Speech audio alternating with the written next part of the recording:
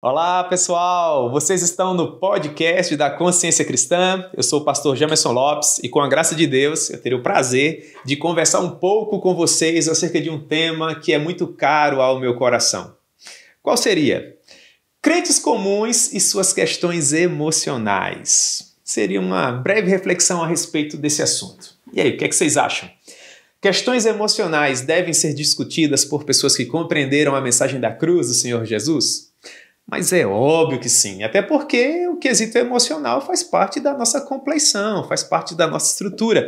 Nós somos pessoas que se relacionam, pessoas que interagem, pessoas que implicam, fazem parte, e por conta disso nós temos dentro dessa nossa estrutura um aspecto que é emocional, e ele até faz parte, né? Como eu já mencionei, de todos nós. Está no ar, Está no ar. Consciência Cristã Podcast. Pois bem, eu gostaria, né, de desde já falar para vocês que eu não sou um profissional da área da saúde emocional ou psíquica, muito pelo contrário. Vocês me conhecem, eu sou um pastor, tenho tentado pregar o evangelho através dos dons e talentos que o Senhor Deus, em graça e misericórdia, tem me concedido. Mas como nós bem sabemos, acabamos de atravessar um período difícil da nossa história enquanto seres humanos, um período que pautou de fato as nossas agendas e os desdobramentos daquele período, os tentáculos gélidos daquele período, eles nos perseguem ainda nos dias atuais. Então, sobretudo em virtude daquele momento mais difícil, e bem assim, mesmo nos dias atuais, quando nós já conseguimos nos desvencilhar desses tentáculos, eu procurei a pensar um pouco acerca dessas questões e me debruçar sobre livros. No primeiro momento, para servir a minha própria comunidade, para tentar alimentar o meu próprio rebanho, e bem assim também para suprir as minhas próprias necessidades, para amainar as minhas inquietações a respeito desse tema, que de fato é, é muito apropriado, sobretudo para o momento que nós estamos atravessando. Portanto, o que eu compartilho com vocês nessa nossa breve conversa não é um ponto científico sobre questões emocionais. Eu não estarei tratando através de termos técnicos ou sobre verdades provadas pelo crivo da ciência, porque, como eu mencionei, eu não sou um profissional da área. Pelo contrário.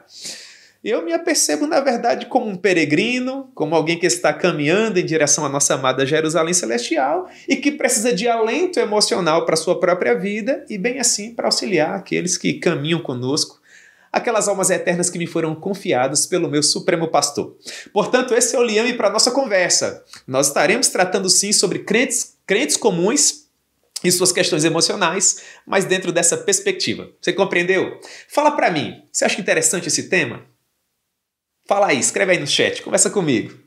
Pois bem, para nortear essa nossa conversa, irmãos, eu vou propor um texto das Sagradas Escrituras a todos vocês. Se encontra no Salmo 116. Esse salmo tem me acompanhado, é um salmo que fala de uma maneira profunda ao meu coração.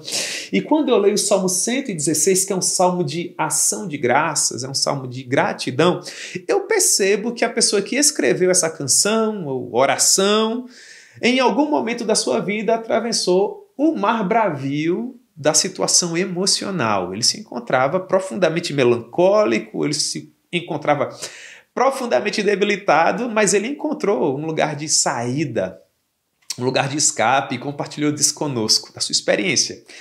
Isso era sobre a experiência desse homem dentro dos seus meandros emocionais que nós conversaremos aqui, tá bom?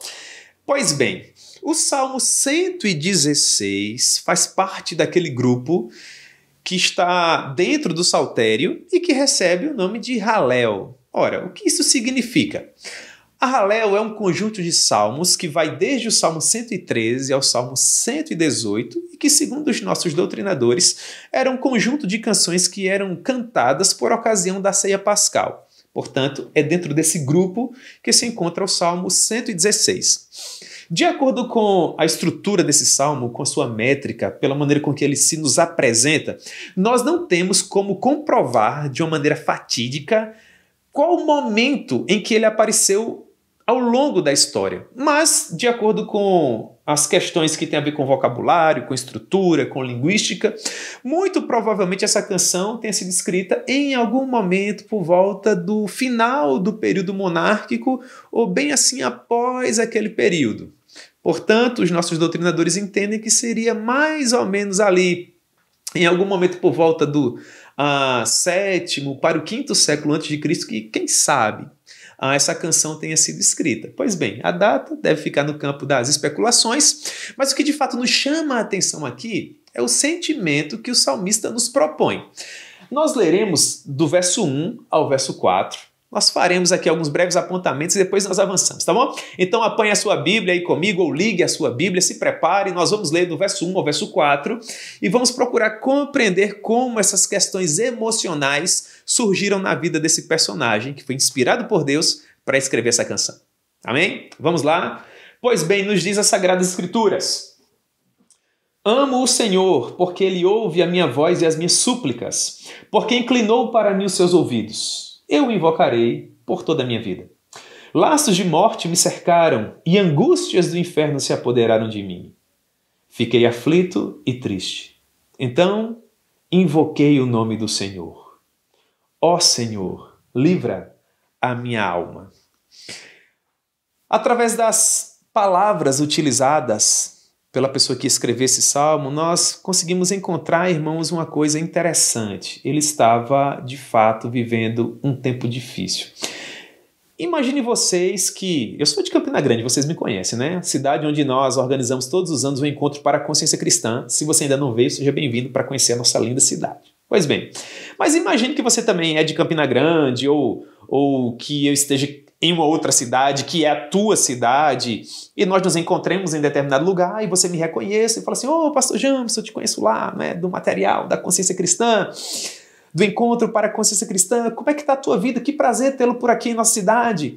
E eu falo assim para você: Ô, oh, meu irmão, laços de morte nesse momento me cercam e angústias do inferno se apoderam de mim provavelmente você olharia para mim e preocupado perguntaria: Pastor, que coisa tão terrível tem te acometido para que o Senhor se sinta dessa maneira tão triste, tão melancólica? Pois bem, basta um mero exemplo como esse para nós percebermos que esse homem não se encontrava numa condição de felicidade.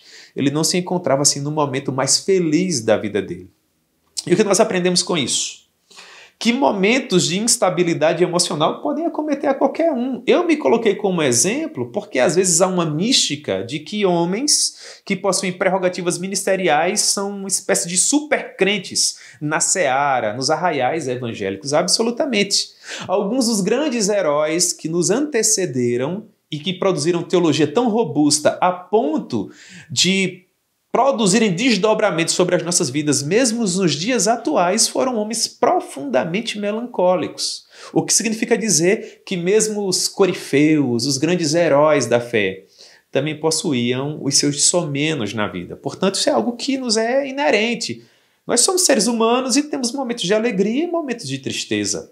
Portanto, não é incomum que momentos de instabilidade emocional nos assaltem e nos façam pessoas, ainda que momentaneamente tristes. Portanto, em primeiro lugar, dentro dessa nossa conversa, eu gostaria que vocês estivessem interagindo comigo e falem as impressões de vocês aí. Dentro dessa conversa, em um primeiro momento, eu gostaria de lembrar a vocês que existe um tipo de angústia, de medo, de ansiedade que é normal Vamos colocar esse normal entre aspas aqui, né? Faz parte da nossa natureza. Na verdade, algo desse sentimento nos acomete a todo tempo. Por exemplo, é normal, no meu modo de ver, que alguém se sinta angustiado, por exemplo, por uma resposta equivocada que ele coloca no exame na universidade. Imagine aquela pessoa que, semelhante a mim, né, ia lá responder aquela alternativa de múltipla escolha e geralmente nós ficamos entre duas, né? A, B, C e D, você fica entre A e C. Você fica naquela, eu marco qual? A ou C? A ou C? Vai lá, marca C, era a questão errada. Pois bem, isso acontecia todo o tempo comigo. Se eu me submeter a um teste hoje, eu acho que eu vou fazer a mesma coisa. Acontecia com você também? Pois bem, então você estudou, se preparou, foi lá, ficou em dúvida entre duas, marcou a questão errada, puxa vida, perdeu teu 10, você fica naturalmente um pouco triste, um pouco angustiado. Ah, imagine um outro exemplo, é alguém que se submete a um concurso público, é aprovado, tem que mudar de cidade. Ele vai começar a sua vida em um outro lugar para finalmente trabalhar naquela instituição que agora ele faz parte. Você sai do teu contexto, sai do meio dos seus familiares, dos amigos que cresceram contigo toda a vida, vai para um local que é diverso do teu, meu irmão, é natural que você se sinta assim um pouco deslocado. É natural que você se sinta um pouco ansioso. Ah, um terceiro exemplo. Você maratona séries, gosta de assistir? Algumas são de fato muito interessantes. Tá para sair aquele próximo episódio, você fica naquela expectativa, naquela ansiedade. Às vezes é quando o último episódio acaba, você já está ansioso esperando o próximo. Você é assim também?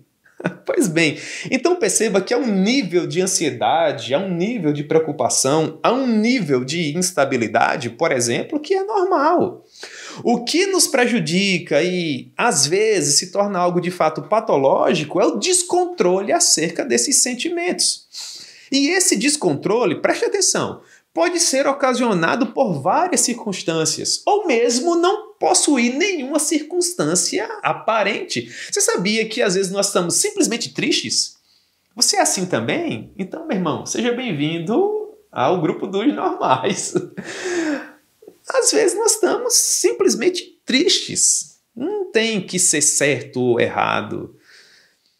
Há pessoas que são naturalmente melancólicas. Portanto, quando situações que nós não temos como pautar, que não fazem parte da nossa agenda, nos, nos acometem e nos deixam tristes, a primeira coisa que geralmente nós procuramos fazer é descobrir o motivo pelo qual nós estamos tristes. Seja para o nosso próprio conforto, seja para responder aquela pessoa que nos ama e fica preocupada conosco. Porque é outra coisa também profundamente comum, né? Às vezes você não está num bom dia, naturalmente, às vezes é pelo simples fato que você queria dormir um pouco mais, você se encontra ali na mesa do café da manhã, pensando na tua cama super confortável, na demanda diária que você tem, e você não está para muito sorriso. E a pessoa que te ama está ali compartilhando daquela refeição contigo, olha para ti e pergunta: o que é que você tem? Por que, é que você está tão triste? E geralmente quem nos ama não se, se dão por, por satisfeitos quando você fala assim: não, não tenho nada, só estou triste. Não, fala a verdade, o que é que você tem? Como você é assim também, Pois bem, já que nós estamos falando sobre as fontes das nossas melancolias, eu gostaria de sugerir algumas para vocês. Primeira delas, às vezes nós estamos melancólicos por questões circunstanciais. É o que acontece, é aquela resposta errada na prova. Você está triste, meu irmão. Às vezes são situações biológicas. As mulheres, por exemplo, possuem os seus ciclos, ah, os homens, naturalmente, também possuem as questões que são inerentes à sua complexão fisiológica, pois bem, questões biológicas podem nos deixar naturalmente melancólicos. Mas há também questões espirituais. Como ministro do Evangelho, como pastor, geralmente é nessa seara que eu mais atuo. Não significa dizer que toda vez que você estiver triste, melancólico, em si mesmado, que você vai ter algum problema de ordem espiritual. Vocês entendem o que eu estou querendo dizer, né, pessoal? Eu estou especulando com vocês. Citei algumas das circunstâncias que podem nos deixar naturalmente tristes. Podem ser questões circunstanciais, biológicas, espirituais e, finalmente, pode não ser nada. Sabia disso? Claro que você sabia. Às vezes a nossa tristeza não possui nenhum motivo aparente. Portanto, preste atenção, olha para mim. Nós precisamos erradicar do nosso meio a ideia de que a angústia que às vezes nos assalta é sempre produto do pecado ou da falta de fé. Isso geralmente quando nós estamos no meio que tem mais contato com as questões espirituais, né? com o nosso meio cristão, evangélico, por assim dizer. Nós precisamos, irmãos, a perder de vista essa ideia de que sempre que alguém se encontra triste é porque ele está passando por um momento de falta de fé ou porque ele está com algum problema espiritual. Quantas pessoas piedosas não têm sofrido tanto por conta de uma abordagem que às vezes é de fato superficial, quando você antecipa o motivo pelo qual aquela pessoa se encontra triste, não é? Pois bem, acerca dessas questões, para nos dar alguma sabedoria quanto a isso, O pastor Zeke Eswein escreve esse livraço que eu gostaria de recomendar para vocês: A Depressão de Spurgeon. Esperança realista em meio à angústia. Esse livro me ajudou muitíssimo. E o pastor Zeke trata de algumas coisas relacionadas à vida do poderoso pregador batista Charles Spurgeon, que falaram poderosamente ao meu coração e essa é uma das leituras que ao longo da nossa breve conversa eu vou estar sugerindo para vocês aqui.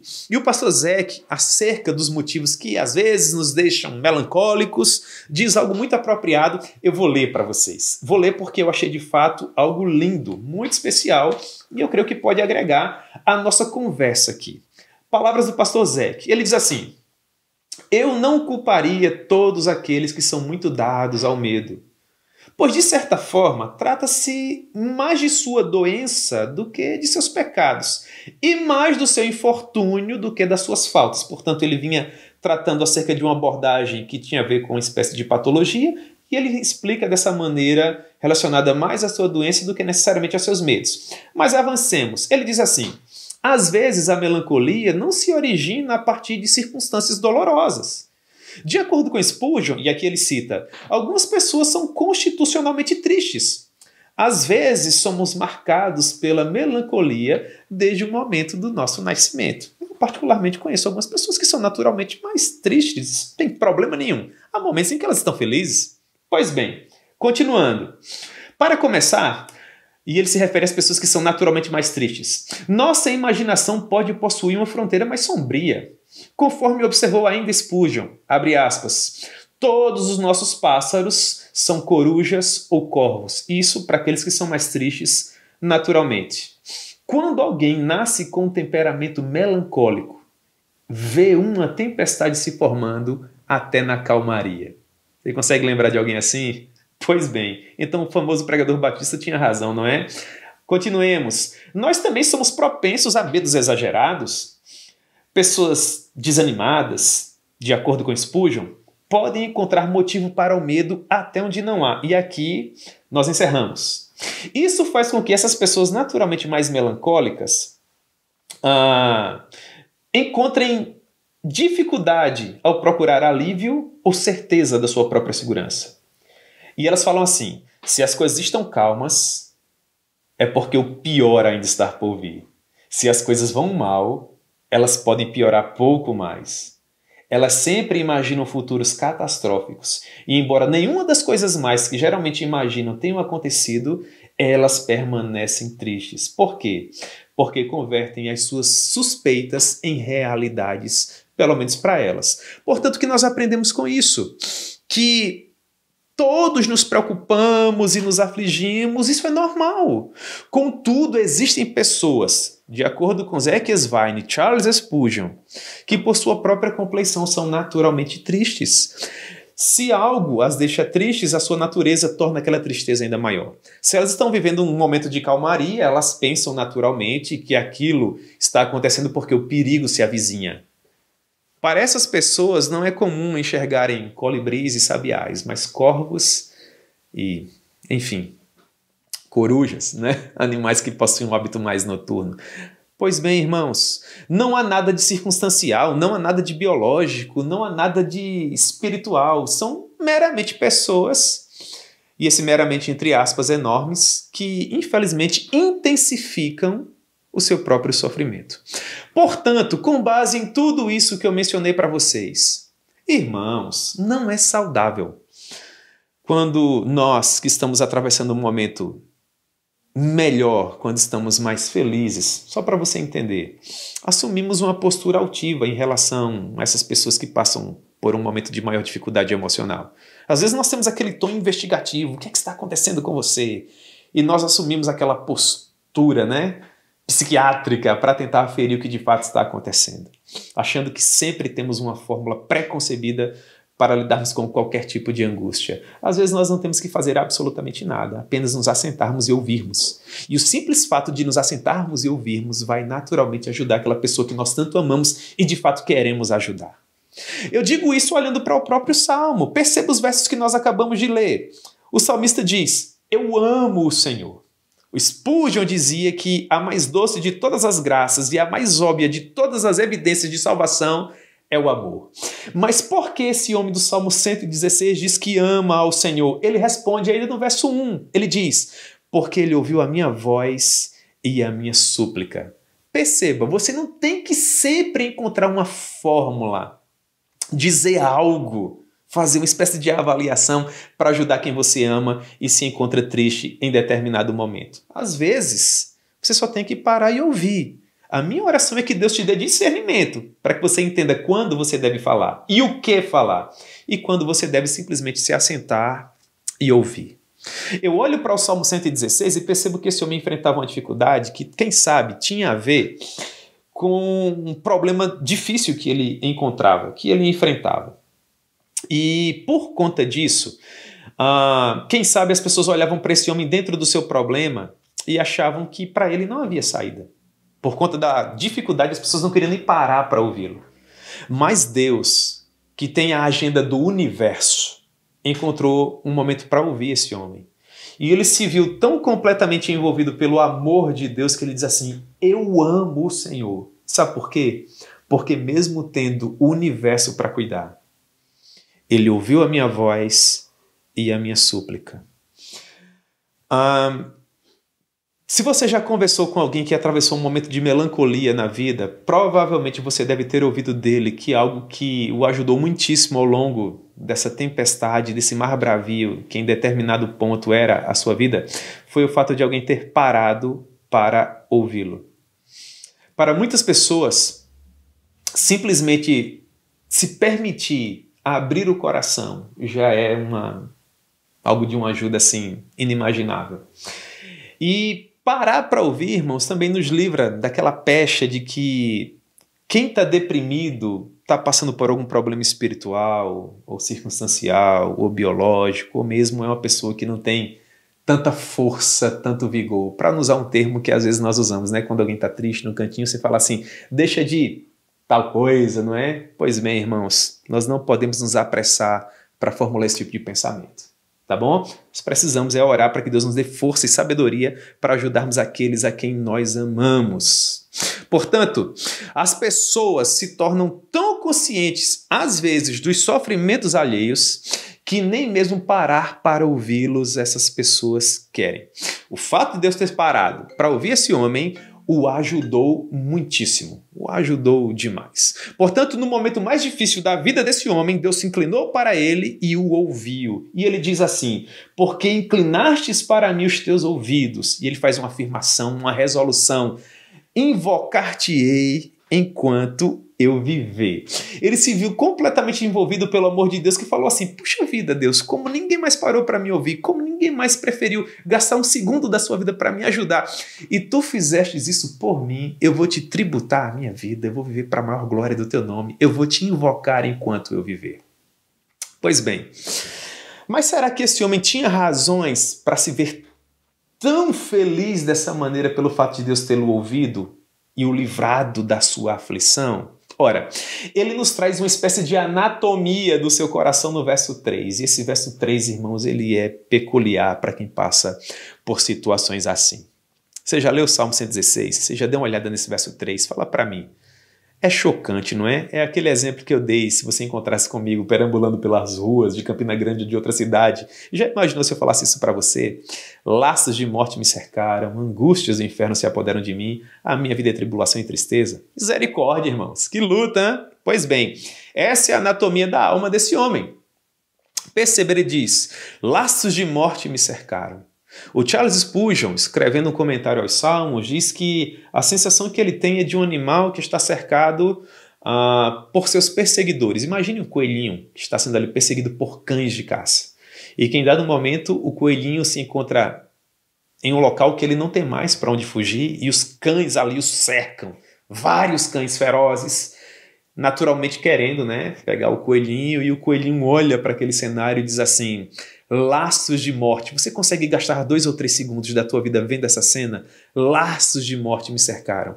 E agora vêm os caçadores com as suas armas e apontam para o coelhinho. E o coelhinho agora pensa: e angústias do inferno se apoderam de mim. Pois bem, Quando nós estamos enfrentando momentos difíceis assim em nossa própria caminhada, são essas metáforas que nos ajudam a dizer como é que se encontra o nosso coração. Você concorda comigo? Você já ouviu alguém dizendo assim: Cara, tô no fundo do poço.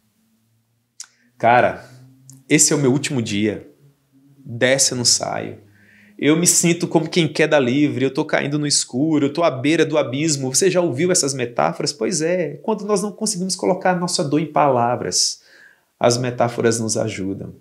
O salmista diz: A minha vida era apenas, apenas tribulação e tristeza. O que é a tribulação? É a dor que nos inquieta, que nos retira todo o conforto. Tribulação é a dor de existir. E tristeza é a dor da alma, é a dor que, que inquieta a mente, que rouba o sono, que nos retira a paz.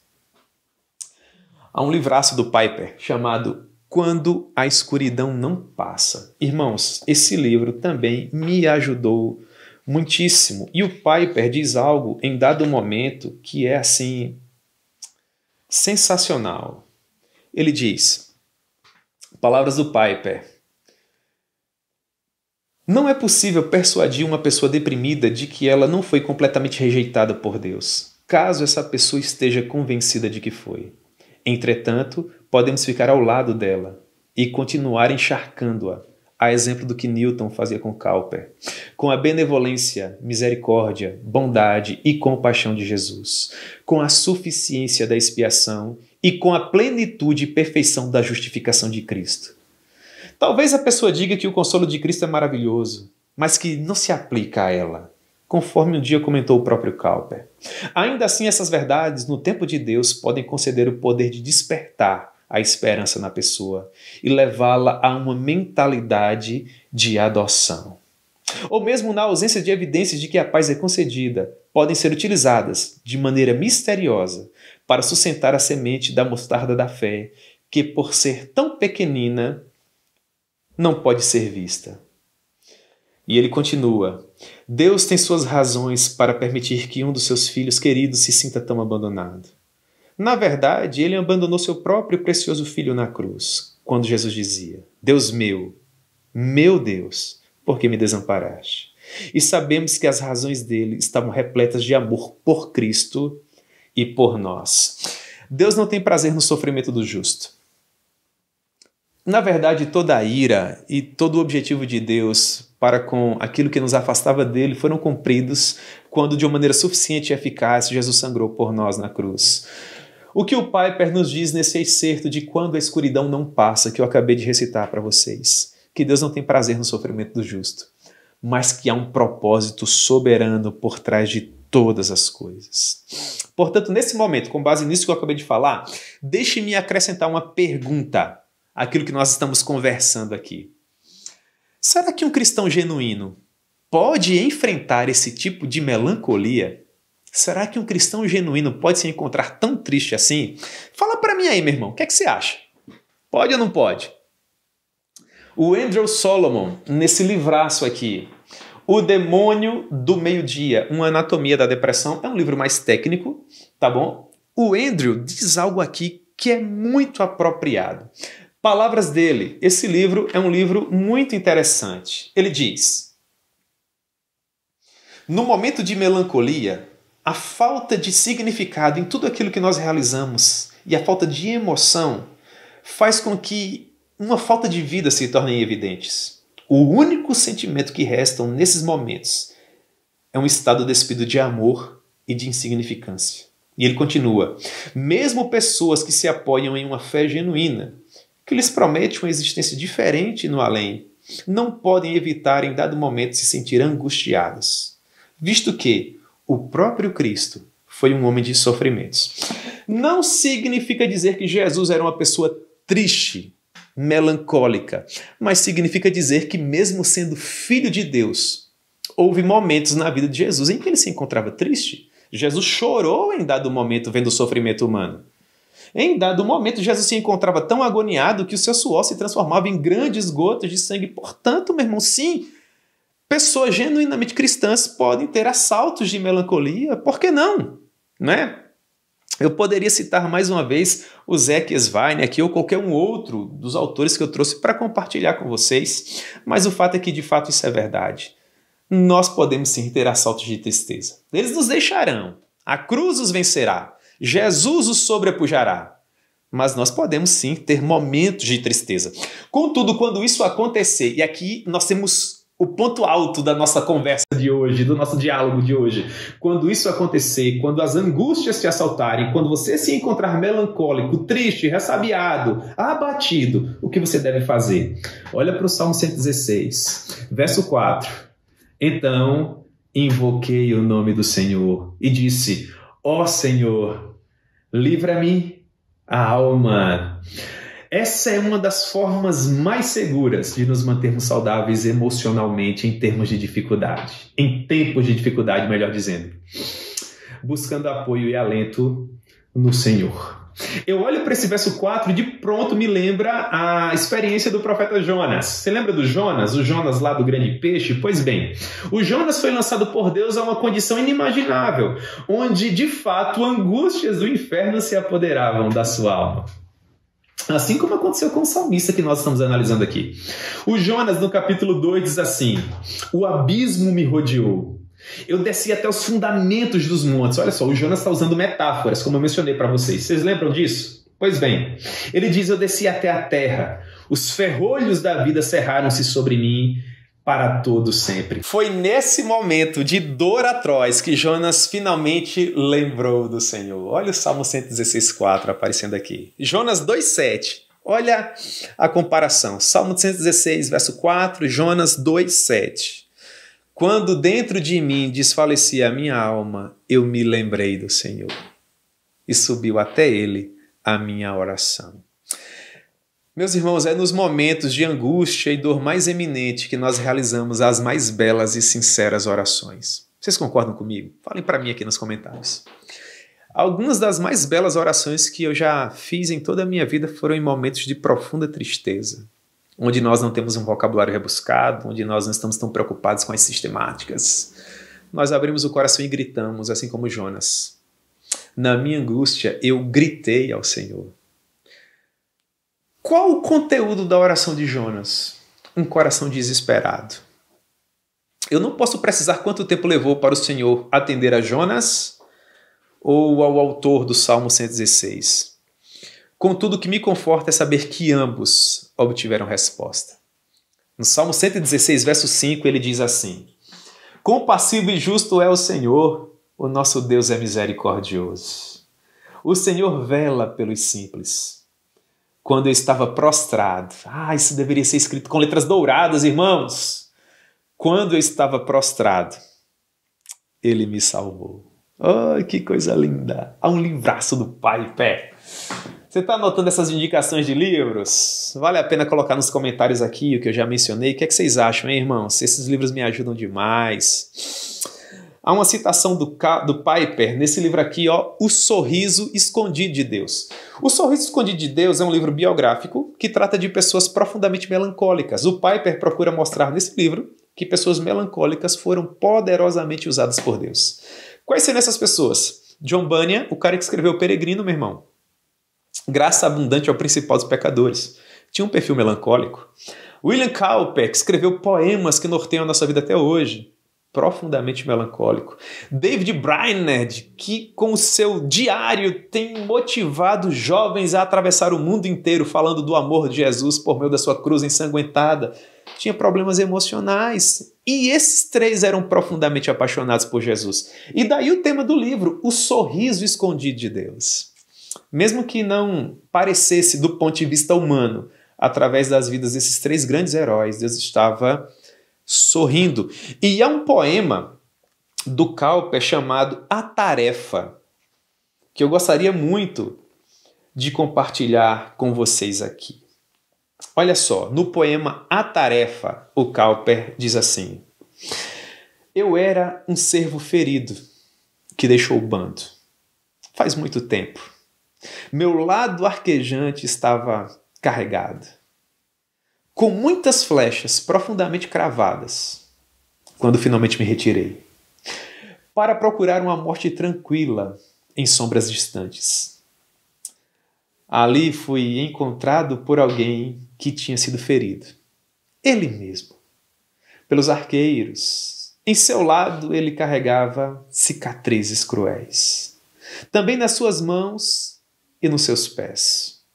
Com força gentil, tomando os dardos, arrancou-os, curou-me e me ordenou que vivesse. Desde então, com os poucos companheiros, em florestas remotas e silenciosas eu vago, longe daqueles, antigos companheiros de cenários populosos, com poucos parceiros e não querendo nada mais. Deus se compadece do sofrimento do justo. Deus se compadece daqueles que atravessam situações difíceis. Não há ninguém que venha até o Senhor com o coração contrito e quebrantado e volte de mãos vazias. Deus é conforto em tempos de melancolia. Deus é conforto em tempos de dificuldade. Por isso o salmista diz no verso 7: Uma vez que Deus foi misericordioso para com ele e o ajudou quando ele estava prostrado, ele encontrou alento, ele encontrou lenitivo, e agora ele pode dizer assim no verso 7: Volta, ó minha alma, ao teu sossego. Por que te preocupas? Não sabes que o teu Deus é o Santo de Israel Ora, irmãos, vocês que me acompanham, percebam. Em alguns casos, a, a, a melancolia é simplesmente arrancada do nosso coração. Isso seria o ideal para nós. Em algum momento, a melancolia foi arrancada do coração do Cowper. Ele encontrou um momento de paz. Contudo, em alguns casos, a melancolia nos deixa por um tempo para depois nos mostrar os seus tentáculos mais uma vez. Então você encontra uma lufada de ar, você respira um pouco acima da superfície da água, mas depois meio que as suas forças se acabam e você se encontra, quem sabe, um pouco triste novamente. Era assim que acontecia com Briner, era assim que acontecia com Cowper, era assim que acontecia com Spurgeon. Quantas vezes nas biografias nós não lemos os diáconos indo à casa do Spurgeon para trazê-lo até o púlpito, de tão melancólico que ele se encontrava. Eu explico, irmãos. Uh, eu repito, melhor dizendo, é, é sempre temerário tentar explicar o porquê desses dias mais difíceis. Porque mesmo esses homens tão apaixonados pelo Senhor experimentavam momentos assim. Contudo, talvez nos conforte saber que nenhuma dessas dores ou aflições foge do controle de Deus, foge das suas mãos poderosas. Jesus nos conhece, Jesus conhece a nossa realidade. Ele sabe quais são as circunstâncias da nossa vida e Ele cuidará de nós. Você pode descansar o teu coração nessa certeza. Não importa que a melancolia te abandone para dias depois, quem sabe te alcançar mais uma vez. Todos nós passamos por momentos assim. Ora mais felizes, ora mais tristes. Mas o fato é que Jesus nos conhece, conhece a nossa realidade. O ideal é uma vida sempre eterna de felicidade sem fim.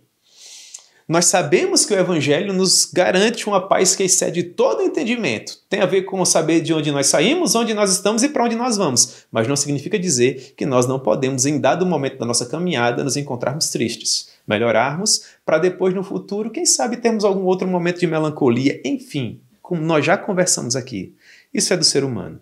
Mas há uma velha canção que fala muito ao meu coração e que pode te ajudar também. Onde, em determinado momento, o cantor nos diz assim: Por que te abates, ó minha alma, e te comoves, perdendo a calma? Não tenha medo, em Deus espera, porque bem cedo Jesus virá. Não te preocupes tanto, não te atemorizes tanto. Deus tem sido generoso para contigo. Não é isso que diz o, verso 7, a parte final? Deus tem sido generoso para conosco. E nesse momento, irmãos, a vida do salmista muda. A vida dele muda. Como eu falei para vocês, Deus permite que a melancolia deixe as nossas vidas e há um lugar de alegria, há um lugar de paz. O choro pode durar toda uma noite, mas a alegria vem pela manhã.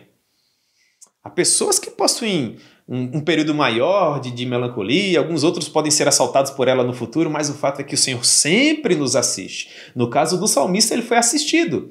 E por meio de metáforas, mais uma vez, ele conta qual foi a sua experiência quando ele viveu essa libertação para a alegria. E ele diz assim, comparando o verso 3 com o verso 8: momento de melancolia com momento de saída, de escape, de refrigério. Olha só a comparação. Verso 3 com verso 8. Laços de morte me cercaram, verso 3. Mas tu livraste da morte a minha alma. Angústias terríveis se apoderavam de mim, mas tu enxugastes dos meus olhos toda lágrima. Minha vida era apenas tribulação e tristeza, mas tu me escrevestes uma nova história. Não é sensacional, irmãos? Como deve ser a nossa vida, portanto, para agradecermos a um Deus misericordioso assim? Ora, o salmista nos apresenta mais uma afirmação de propósitos aqui no verso 9. Ele diz: Andarei na presença do Senhor enquanto eu viver. O que nós aprendemos com isso? Ora, o Senhor Jesus nos diz assim: No mundo vocês terão aflições, mas tenham bom ânimo. Eu venci o mundo. Significa dizer, irmãos, que o fato de nós sermos cristãos não nos isenta de sofrimento, não nos isenta de momentos tristes, não nos isenta de alguma melancolia ao longo da nossa jornada. Mas também é verdade dizer que a alegria vem, que o conforto vem, que a satisfação em Deus vem. Portanto, eu gostaria de encorajar você que, quem sabe, talvez esteja passando por um momento de dificuldade assim.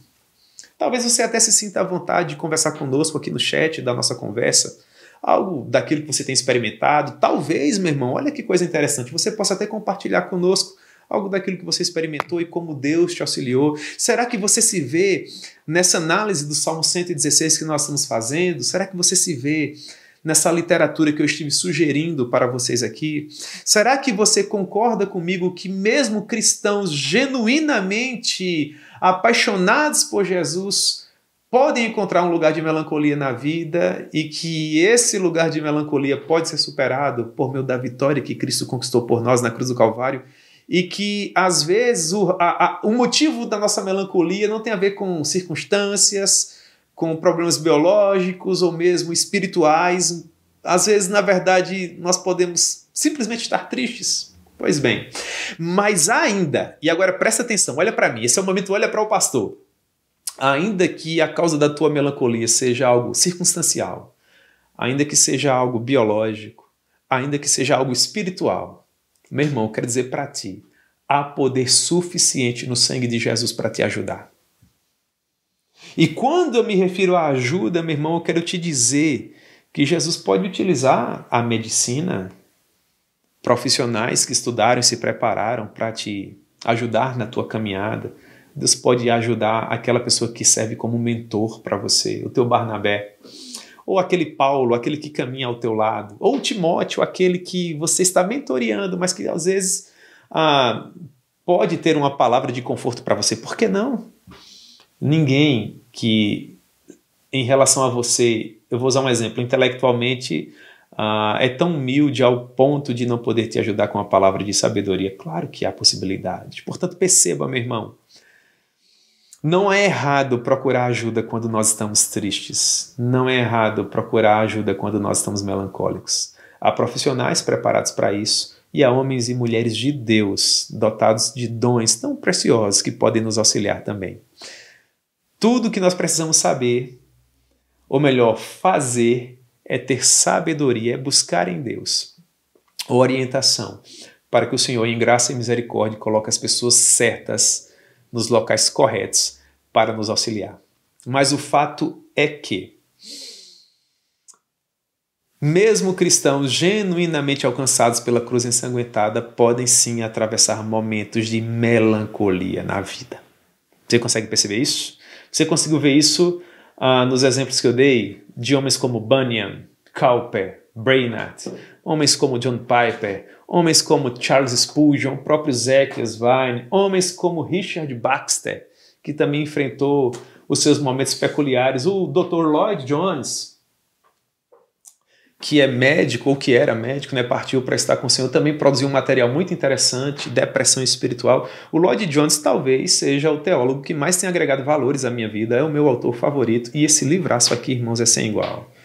Depressão Espiritual, Suas Causas e Cura. Gosto muito da maneira com que o doutor lida com essas questões emocionais em nossa vida.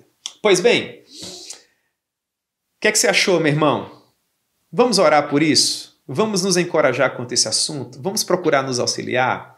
Eu quero acreditar que, sobretudo, pelo fato de termos atravessado esse mar bravio de dificuldades que foi um momento difícil, né, em termos sanitários que nós enfrentamos, discussões como essa acerca de questões emocionais são de fato ah, muito bem-vindos em nosso meio, porque, sem sombra de dúvida, há muita gente boa que precisa de ajuda a esse sentido e são apaixonados por Jesus. Portanto, é com base nisso e confiando em promessas assim que, quem sabe, o salmista tenha dito no verso 9, uma vez que ele encontrou conforto em Deus e na palavra do Senhor, o homem disse assim: Andarei na presença do Senhor enquanto eu viver. É isso que eu sugiro para ti, meu irmão. Por mais que no mundo nós tenhamos aflições, permaneça na presença do Senhor Jesus, porque ninguém é semelhante a Ele. Só na presença dele. A promessa de plenitude de alegria e delícias perpetuamente. Não importa por quais caminhos o Senhor da tua alma tenha te conduzido, a tua chegada é certa. E tu haverás de triunfar na presença do Senhor, para a glória de Deus. Algumas aplicações aqui nós encerramos a nossa breve conversa. A primeira delas, mesmo nos momentos em que os ouvidos mais próximos às vezes insistem em não nos ouvir. Sempre haverá um Senhor Todo-Poderoso disposto a ouvir acerca daquele que tu tens enfrentado. Em segundo lugar, uh, você não tem que se preocupar com vocabulário elaborado ou tecer verdadeiros comentários teológicos para ser ouvido pelo Senhor. Faça como Jonas, às vezes basta gritar. Ou então, em Romanos capítulo 8, basta um murmúrio um lamento, um gemido, e Deus estará ouvindo você.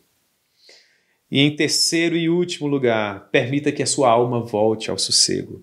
Descanse no Senhor, confie nele. E o mais ele fará. Tá bom? Eu gostaria de encerrar essa nossa breve conversa com mais uma citação do John Piper em seu livro Sorriso Escondido de Deus, mais um poema do William Cowper. E esse poema, se eu pudesse, eu emoldurava e colocava lá na sala onde eu estudo a palavra de Deus. O nome do poema é Deus se move de forma misteriosa. Meus irmãos, como esse poema é precioso. E ele diz assim: Deus se move de forma misteriosa para realizar as suas maravilhas. Ele imprime suas pegadas no mar e cavalga sob a tempestade. Fundo em minas imensuráveis de habilidades que nunca falha. Ele entesoura os seus desígnios brilhantes e opera a sua vontade soberana. Vós, santos medrosos, renovai a coragem. As nuvens que tanto temeis são grandes em misericórdia e irromperão em bênçãos sobre as vossas cabeças.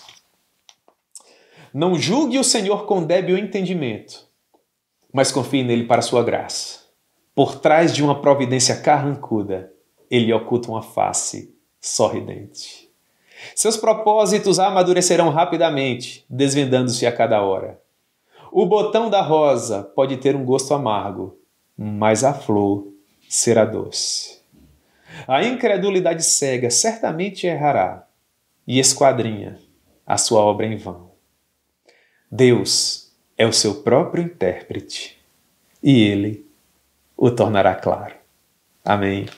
Que Deus te abençoe, que o Senhor possa te ajudar nas tuas próprias demandas emocionais. Que profissionais preparados possam te ajudar. Que irmãos apaixonados por Jesus possam te ajudar.